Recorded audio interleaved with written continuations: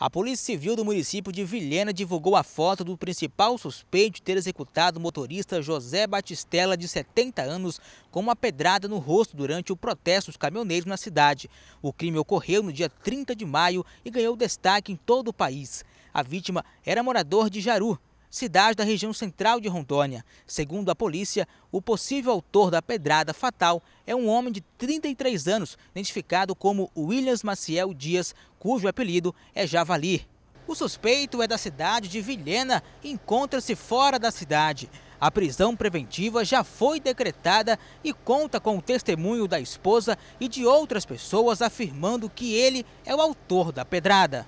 Os agentes já estavam em campo a partir do momento que tomamos conhecimento, justamente para levantar informações necessárias que nos levassem a, a, aos possíveis infratores, pelo tamanho do instrumento, que foi uma pedra, pelo tamanho daquele objeto e pela direção em que foi lançada, justamente contra o para-brisa de um veículo em movimento.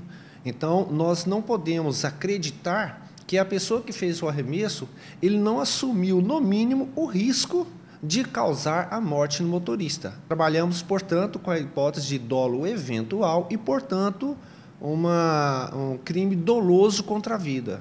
Para quem tiver alguma informação do paradeiro do suspeito, entre em contato no 190 da Polícia Militar ou 197 da Polícia Civil.